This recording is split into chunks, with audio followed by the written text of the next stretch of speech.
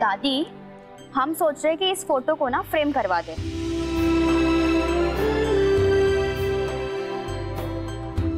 दादी फ़ोटो को फ्रेम क्यों करना है? अरे फ़ोटो है तो फ़ोटो फ्रेम में तो मड़वाना पड़ेगा ना।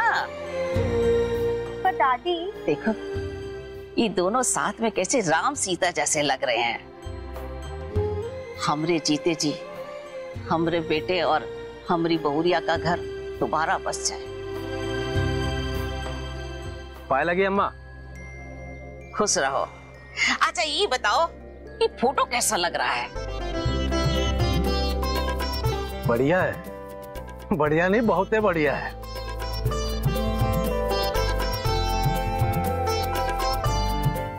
क्या हुआ? गुडवा से मिलने आए हो?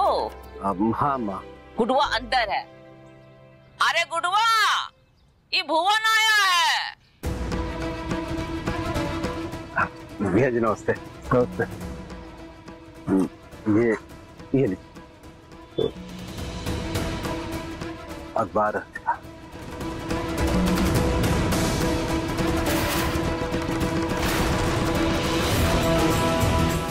मिश्रा ग्रुप की कंपनीज़ की मालकिन अब ललिता मिश्रा गुड्डू मिश्रा को सड़क पर ले आई उनकी पत्नी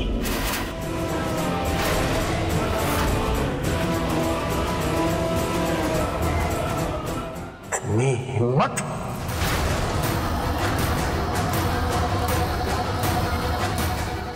भैया जी आप क्रोध ना कीजिए।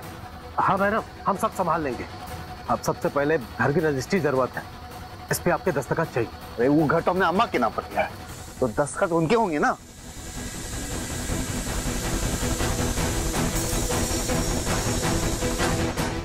हाँ त्रिपाठी हम बोल रहे हैं।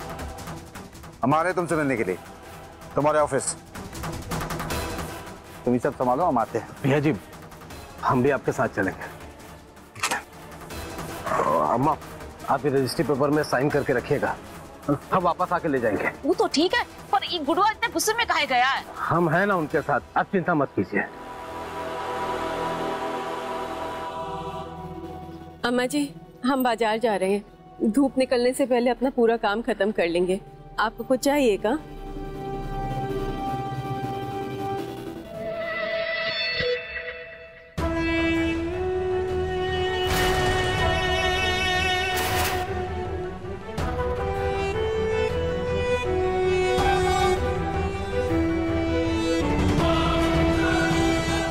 का देख रही हो? हाँ? ये फ़ोटो को हम कब से मड़वाना चाहते थे? अम्मा जी आप तो सब समझती हैं फिर काहे ये सब कर रही हैं? अरे हम तो सब समझते हैं पर तुम नहीं समझती हो। हम इस फ़ोटो को मड़वा के अपने पास रखेंगे और रोज़ाना देखेंगे। अम्मा जी, जब रिश्ते में ही कुछ नहीं बचा है तो फ़ोटो फ्रेम में एक साथ रखकर कहाँ हो जाएगा। मत कीजिए सब। कोई फ़ायदा नहीं होगा इन सब का।